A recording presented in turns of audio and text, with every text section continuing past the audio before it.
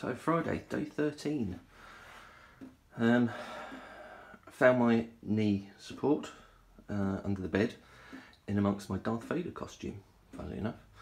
Uh, I've ordered another knee support, so that should hopefully arrive today. So, with any luck, this will uh, ease the uh, the discomfort going forward.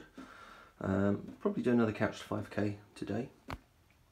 And um, phone's on about 25% battery as I take this, so I'm going to have to wait for that to charge up to sort of 80 90% before I go out, because otherwise it won't last.